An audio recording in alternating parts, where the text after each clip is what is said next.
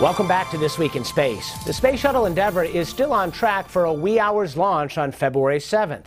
NASA held its flight readiness review and cleared the orbiter for flight on Wednesday.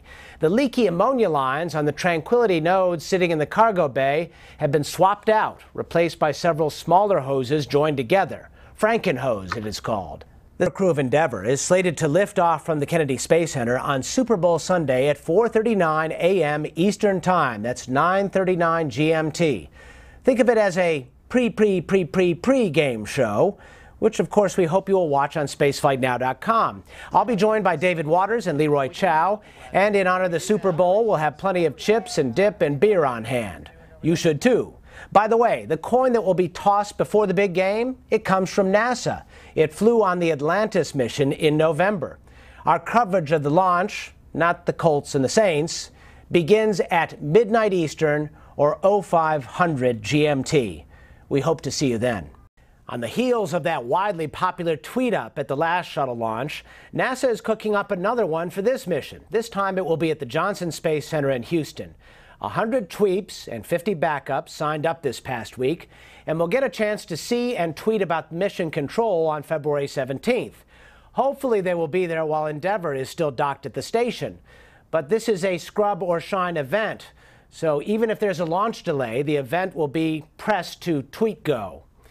Among the tweeps who will likely be twittering that day, Astro Jeff, Astro TJ, and Astro Soichi, as in station keepers Jeff Williams, TJ Creamer, and Soichi Noguchi.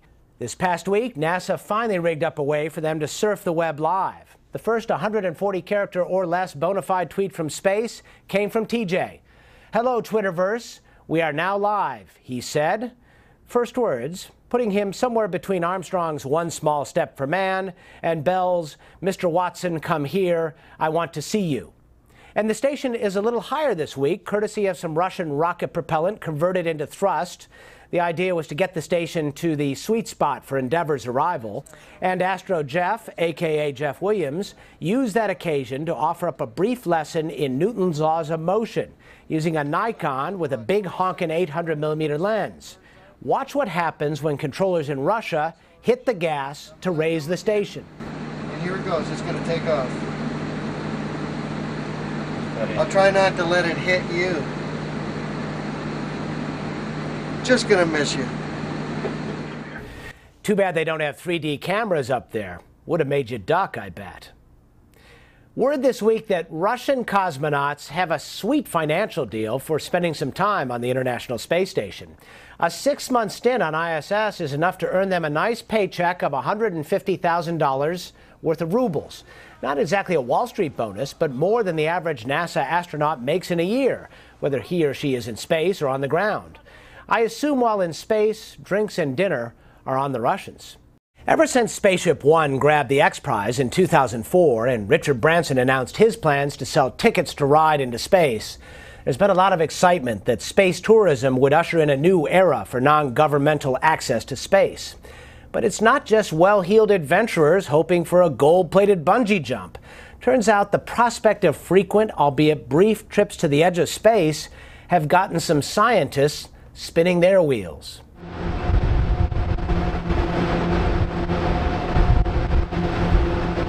You say you want a revolution in space? Well, you might be seeing the beginning of one right here. These are scientists strapping into a centrifuge, getting a taste of the rigors of spaceflight, all of them hoping they may one day be able to fly their experiments on a suborbital hop to the edge of space aboard Virgin Galactic's Spaceship Two.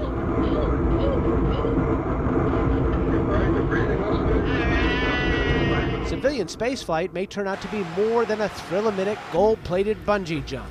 Scientists see a lot of opportunities to get some thrilling results, using themselves and other passengers as guinea pigs during five minutes of weightlessness. The key to it is the price is very low and the flight rates are very high. So the real strength of this from a research standpoint is that you can go to space many times, that you can do things that we've never been able to do before. For example, atmospheric measurements every single day of the year. Scientist and former NASA Associate Administrator Alan Stern led the charge to this two day training session. He gathered together a dozen researchers who say the suborbital rides to space will give them much easier access than the International Space Station and many more scientific options than airplanes that fly a roller coaster pattern to offer 30 second spurts of microgravity. There's a whole new class of science that you can do when you're offered four or five minutes of zero G. And zero G, that's a lot cleaner. That's not affected by the buffeting of the atmosphere that you're flying through.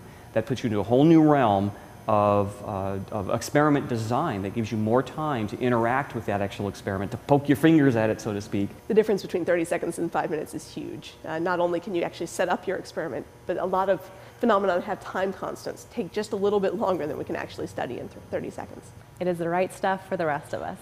Brienna Henwood manages the commercial space business here at NASTAR, the National Aerospace Training and Research Center near Philadelphia. The company has a long history simulating extreme environments for military and civilian clients, and it is the official training center for Virgin Galactic. So far, 180 would be civilian astronauts have taken the two day course. Initially, people are apprehensive, they're a little cautious, they're excited about doing this, but once they see the equipment involved, you know, have that apprehension and fear about getting into that piece of equipment, uh, centrifuge or an altitude chamber to do their training. And to be clear, it is a lot more than a Disney ride. MIT aeronautical engineer Dava Newman had her motion sickness bag at the ready. Her nausea was no surprise to her, given her experience on parabola flying airplanes. For me, I always feel a little bit lighter and then the high G's, that transition between low and high. Gets my stomach going a little bit. Get set, go. Besides the centrifuge, the astronaut researcher wannabes endured a scientific stress test of sorts. Hemmed into an area the same size as the Spaceship Two cabin, they had to complete detailed tasks in five minutes or less with a host of distractions to give them a sense of what it would be like to gather data on a suborbital space mission. We're talking about five minutes of microgravity. The current asking price is $200,000. That's an easy one to figure out. 200,000 divided by five minutes equals $40,000 per minute. So in point of fact, it really isn't any cheaper yet. Matter of fact, per minute, it's actually pretty expensive. The hope is over time, they'll make it up on volume. I'd love to see the price point come way down below 200K because then it will be available actually to educators, to students, to the general public basically. We're trying to create a new market, a market for research and education missions on suborbital spaceflight, and at the same time to break open spaceflight to what I call ubiquitous spaceflight. It's not even a matter of if or when now at this point. Uh, I'm now starting to begin to wonder how many times I'm going to fly into space. I would uh, love to go up, would love to have the thrill, but I think the science is actually an incredible way to get this jump started. If you're interested in testing your own mettle to see if you have the right stuff, you can buy your own training session at NASTAR for 6000 bucks. The public is invited whether or not you have plans to go to space someday.